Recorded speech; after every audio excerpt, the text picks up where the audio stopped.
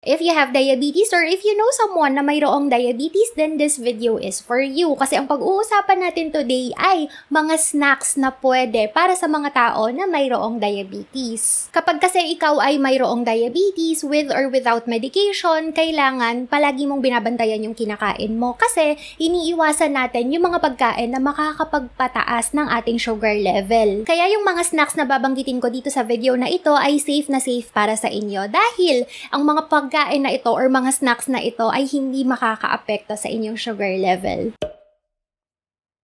Mga snacks na pwede para sa mga tao na diabetic. Number one ay nuts. Iba't ibang klase ng nuts, meron ding iba't ibang klase or iba't ibang grams ng carbohydrates. Kaya ang best options natin ay ang pecan, macadamia, pili nuts, and Brazil nuts. Kasi itong mga nuts na ito, every 100 grams, nagre-range lang ng 4 to 5 grams ng carbohydrates. Pero other things to consider maliban sa klase ng nuts na inyong kakainin ay kung paano ba siya niluto. Yung iba kasi niro-roast siya pero ginagamitan ng oil. And yung oil na ginagamit ay yung mga oil na toxic oils or yung mga klase ng oil na dapat nating iwasan dahil nakakakos itong mga ito ng inflammation na ayaw naman nating mangyari sa ating katawan. Kaya bago bumili ng nuts, make sure na tignan nyo muna yung ingredients. Kapag ito ay niluto sa vegetable oil, sunflower oil, or yung mga oils pa na highly processed. Kung kakainin natin itong mga pagkain na ito na niluto sa mga processed oils,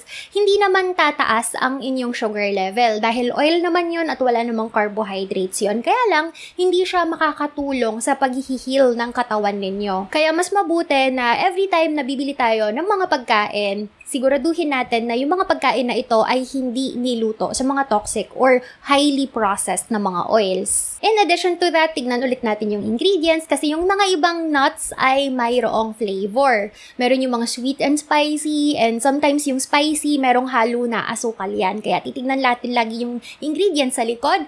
Meron ba siyang MSG? Meron ba siyang asukal? Kasi if yes, then wag po nating bibilhin yung mga brands na yon. Pero kung meron lang naman siyang halong asin, okay na okay yan. Pero best option pa rin kung ikaw na lang yung magro-roast sa bahay para sure na sure ka sa mga ingredients na hihalo mo. Second na snack na pwede mong kainin kapag ikaw ay may diabetes ay itlog.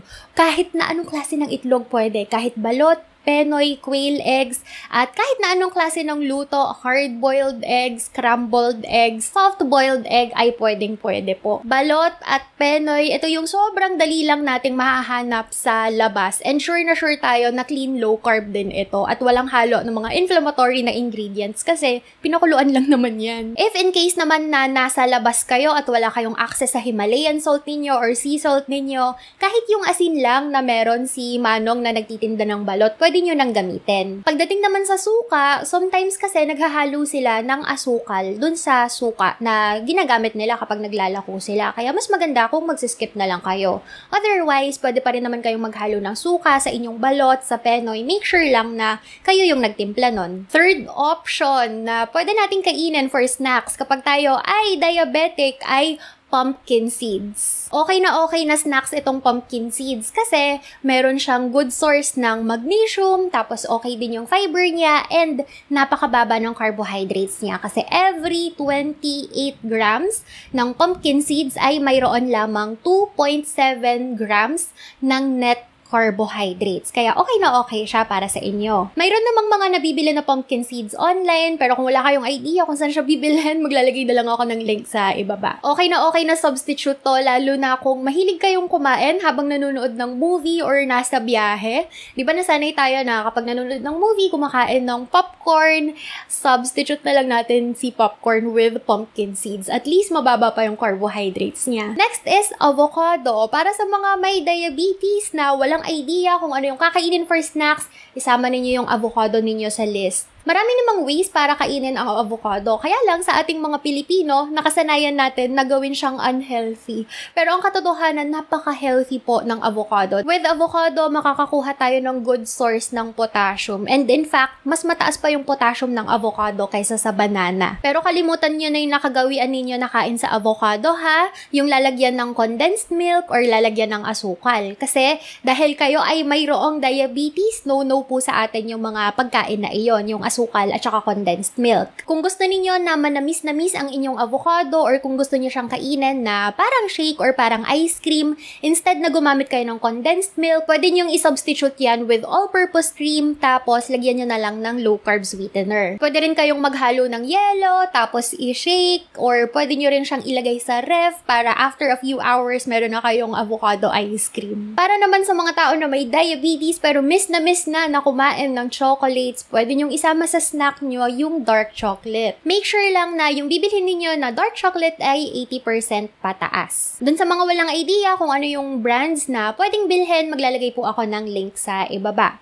Doon naman sa mga hindi kaya na kumain ng dark chocolate kasi nga napakapait niya or medyo bitter talaga siya. Pwede nyo siyang kainin na medyo manamis-namis, e effort lang tayo ng konti. Kasi pwede nyo namang tunawin yan, tapos haluan nyo ng sweetener, tapos antayin nyo, titigas ulit yan, and manamis-namis na siya. Kaya lang naman natin iniiwasan yung regular na chocolate kasi gawa siya sa napakaraming asukal and sometimes naglalagay rin sila ng gatas, so patong-patong yung asukal na meron siya. Pero kung tayo yung gagawa ng sarili nating dark chocolate or papatamisin natin si dark chocolate, eh, okay na rin naman. Pero kung sanay na yung taste buds mo sa 80% or 80 to 90%, meron pang 99% na dark chocolate, then pwedeng-pwede nyo tong ihalo sa inyong snacks. Number 6, aside sa dark chocolate, pwede nyong ihalo sa inyong snacks option ang fat bombs. Doon sa mga walang idea kung ano yung fat bombs, basically para lang siyang chocolate na hinaluan ng coconut oil tapos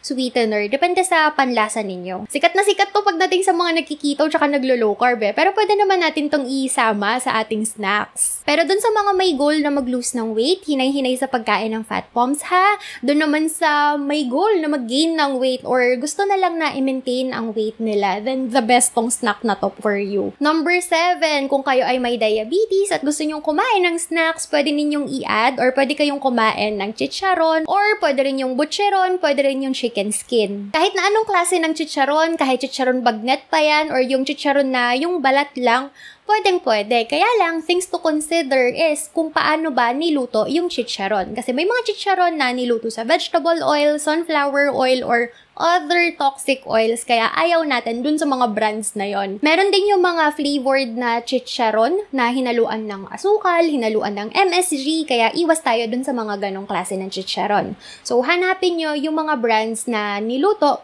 gamit yung safe na oil na prefer natin sa low carb and kung meron man siyang halo, make sure na asin lang yon. And number 8 na snacks na pwede nating i-add or kainan kung tayo ay mayroong diabetes ay ang seaweeds or yung mga nori sheets. May mga tao na mahilig magpapak ng nori sheets eh, lalo na yung crispy na nori sheets or seaweeds, okay na okay lang naman yon. Pero pwede nyo rin siyang ihalo or kainin combination with other low-carb meals such as yung itlog at pwede nyo rin yang i-partner sa canned tuna. Ito yung top 8 na snacks na pwede ninyong kainan kung kayo ay may diabetes kasi maia-assure nitong mga snacks na to na hindi tataas ang inyong sugar level. Pero make sure lang syempre na in moderation pa rin. By the way, dun sa mga walang idea kung anong mga brands yung pwede, maglalagay na lang po ako ng link sa description sa ibaba. Doon naman sa mga walang idea kung paano simulan ang low carb or walang idea kung ano yung mga pagkain na pwedeng kainin or gusto ng reference, gusto ng meal plan or gusto ng guide kung paano ito gawin. Meron po akong ebook na pwede ninyong i-purchase. Ilalagay ko rin po yung link sa ibaba. Dito sa ebook na to, i-guide ko kayo kung paano gawin si low carb from your first week hanggang sa fourth week ninyo. Meron ding mga recipes, meal plan, tapos yung mga list ng mga do's and don'ts, mga pagkain na pwede at saka bawal sa low carb, pero okay na okay din to para sa mga diabetic kasi itong mga pagkain na ito ay hindi po makakapagpataas ng inyong sugar level. So that's it. Thank you so much for watching and have a good day. Bye!